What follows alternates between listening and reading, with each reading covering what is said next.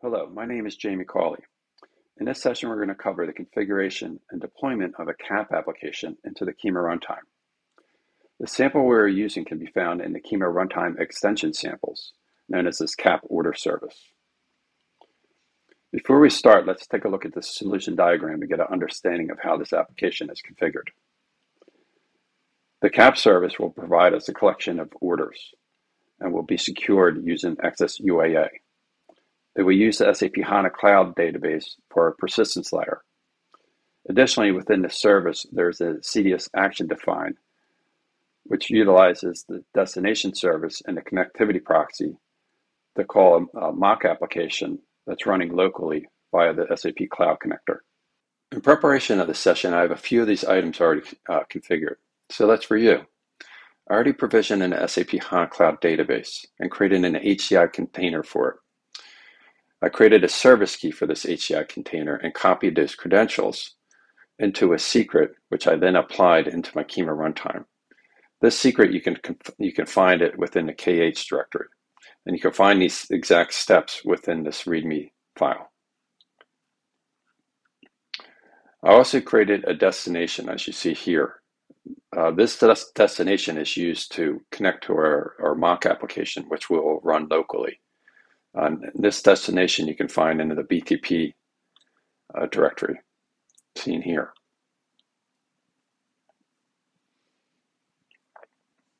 I also connected the, the SAP Cloud Connector to my sub account and defined a connection within the uh, SAP Cloud Connector to my local mock application. Now I've already installed this CAP samples application using the M npm install. Next, let's take a look at the CAP application itself. You'll find that in the app directory.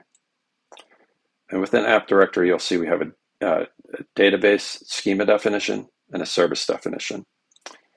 Uh, what's important here is the package.json. Within here, you'll find uh, a reference to our destination called localmock.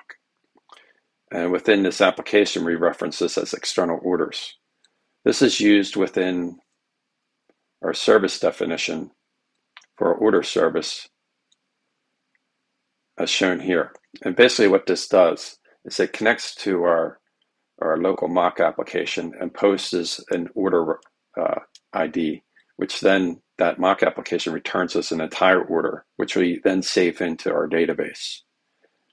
And we just return that uh, how many rows were affected and what the order ID was.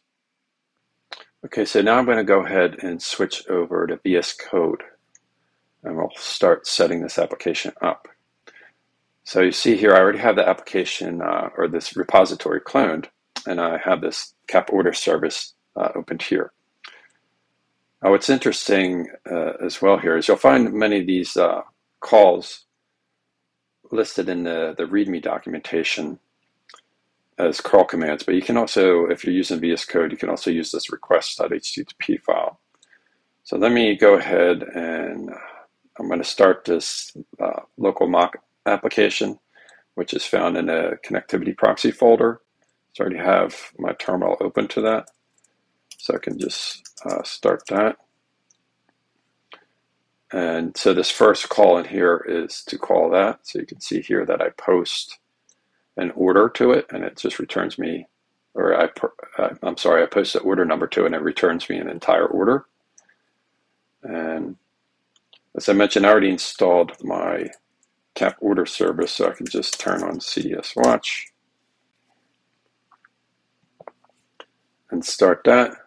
I'm going to close this.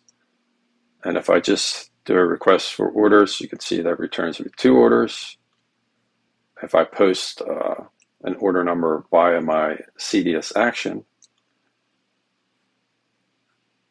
you'll see now that we have uh, three orders here.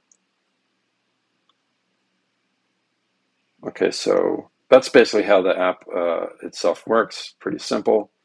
So let me uh, stop this.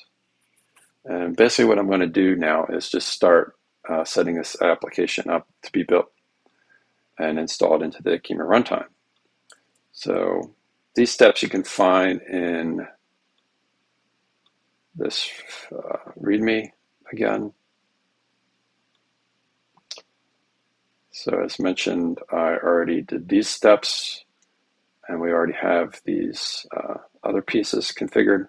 So right now I'm going to start doing this prepare the app for deployment. So the first step here is to do this build.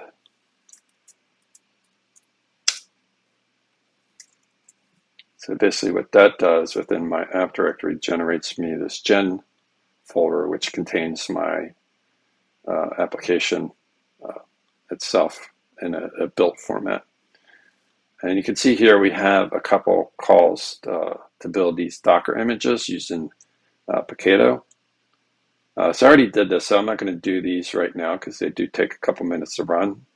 So I already built these two and I already pushed them to my, uh, my Docker account. But these are the steps that you need, and obviously you need to have Paketo installed. So what I'm going to do now is set up my Helm chart. So I'm going to start with the CDS add Helm.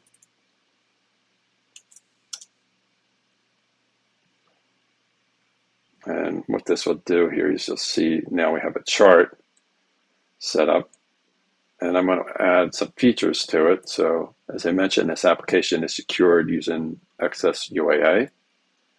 So now I'm going to add that. I'm going to add connectivity, which will set up a connectivity proxy for me.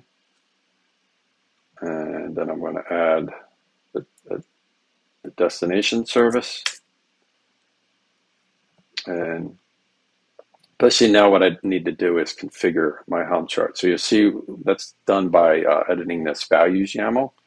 And there's a couple different things that we need to, uh, to set here. So let me open that up and start working on that. So we don't, we're not using this. So that doesn't matter. So we want to have this uh, reference to our orders database or our orders DB secret. So this is that secret that I already had uh, set up, which contains my information for how I would connect to my HANA database. And there's two references to this. So you'll find the other one down here. I got to change my container uh, repository to, to mine. And there's two references to that. And I also need my cluster domain, which I can get right here within my Kyma runtime.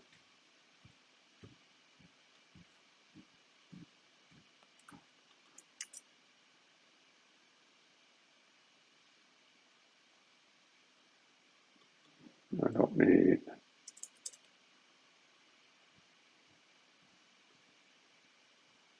that part.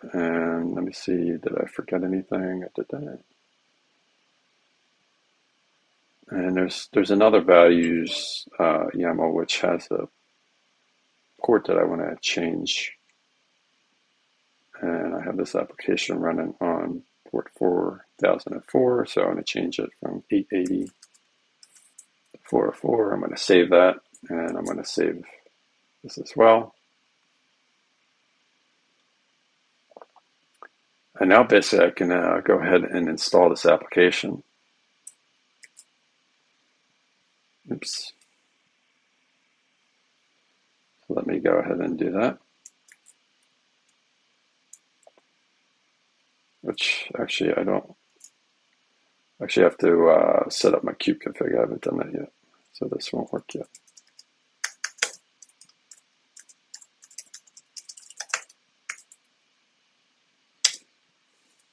So just to check that we can do this, actually write the full command. It's going to prompt me to log in to the system and it log, logged me in and I can see here that I got all my uh, namespaces here. So you see that I already created a dev namespace and in my dev namespace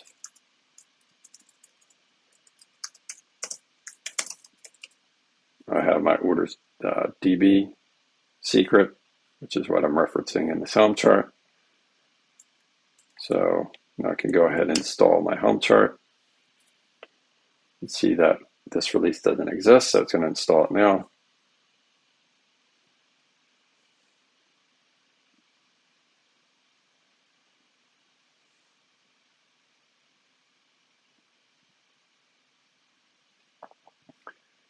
We switch over the Kyma, you can see that it's starting some stuff.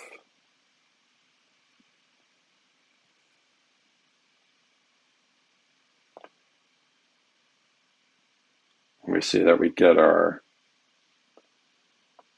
API uh, URL for our service, but this is not completely started yet. So we could click on this, but if won't work yet. So we can see if we go back and check our, okay, so now our, our pod is done. We could check the logs of it just to see what it has to say. And you can see that we connected to our HANA database and some other uh, additional information. So now if I go ahead and refresh this, and try to go to orders, you're going to see I get a 401 because I'm not authorized yet. Okay, so now we can go back. Uh, you'll find these, I'm going to close these files, but you'll find these commands to call the application in that request HTTP. And and the way it's set now is to prompt you for each uh, of the different parameters that you need. So it's a little hard to, to use here. Uh, so you could put the parameters here as well, but uh, you can find additionally here that we can just get these with curl commands. This is a little easier because we could set them with uh, parameters. So these are the way you would do it on a, a, a MacBook. So I'm going to copy these and I'm going to paste them in there. And so basically what they did was just set these different uh, parameters. So if I uh, go out the URL here, you can see I get the URL from that secret. And I also got the client ID and the client secret. And then I can then request an access token. And so now I have an access token to call this uh, the service. And so now I need to adjust uh, this one. Uh, so it's going to use, here it is. Just have to adjust the domain of this.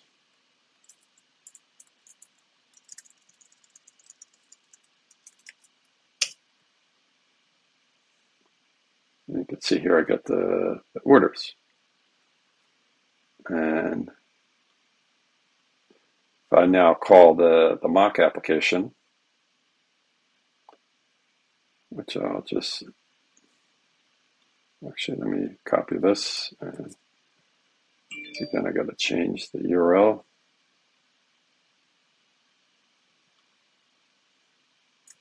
To copy that out.